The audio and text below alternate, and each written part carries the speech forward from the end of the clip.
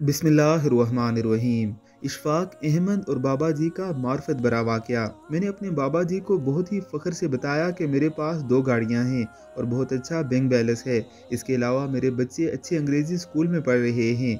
इज़्ज़त, शोहरत सब कुछ है। दुनिया की हर आसाइश हमें मैसर है। इसके साथ साथ जहनी सुकून भी है। मेरी ये बात सुननी थी कि उन्होंने जवाब में मुझे कहा कि ये कर्म इसलिए हुआ है कि तूने अल्लाह के बंदों को ठोंगे मारना छोड़ दिए हैं। मैंने जब इस बात की वजाहत चाही तो बाबा जी ने कहा, इशफाक अहमद मेरी अम्मा ने एक असील कुकड़ पाल रखा था। अम्मा को उस मुर्गे से खसूसी मोहब्बत थी। अम्मा अपनी बुक, यानी मुट्ठी भरकर मुर्गे की चूंच के नीचे रख दिया करती थी।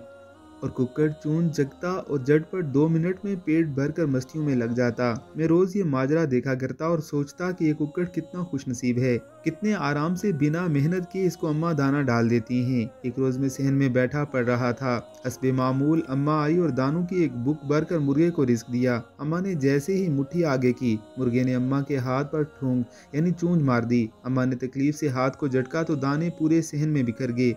अम्मा हाथ सहलाती अंदर चली गई। कुक्कड़, यानी मुर्ग जो एक जगह खड़ा होकर आराम से पेट भरा करता था। अब वो पूरे सहन में भागता फिर रहा था। कभी दाएँ जाता, कभी बाएँ, कभी शमाल, कभी जनूब।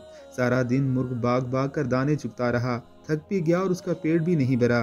बाबा दीन मोहम्मद ने कुछ तोकफ के बाद पूछा, बताओ मुर्गे के साथ ऐसा क्यों हुआ? मैंने फट से जवाब दिया कि ना मुर्गा अम्मा के हाथ पर ठूंग मारता, न जलील होता।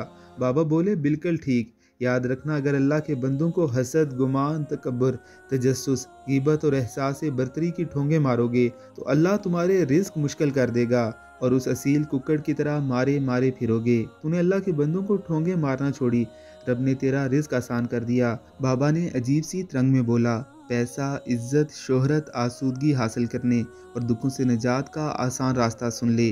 अल्लाह ताला के बंदों से मोहब्बत करने वाला, उनकी तारीफ़ करने वाला, उनसे मुस्कुरा कर बात करने वाला, दूसरों को माफ़ करने वाला कभी मुफलिस नहीं रहता।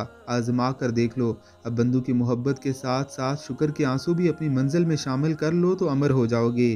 अल्लाह रब्बुल इज़्ज़त की ज़ात हमें इन बातों को समझने की तोफ़ी कता फ़रमाए। आमीन अल्लाह आमीन।